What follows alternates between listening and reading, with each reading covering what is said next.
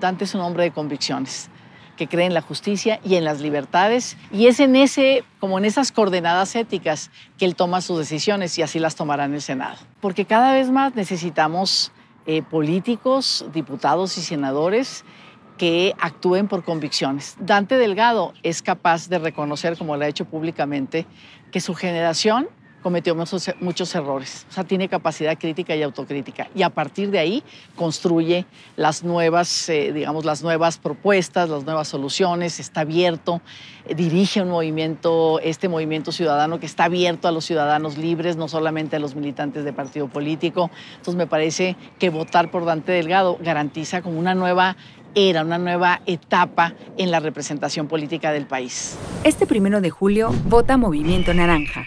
Vota Movimiento Ciudadano.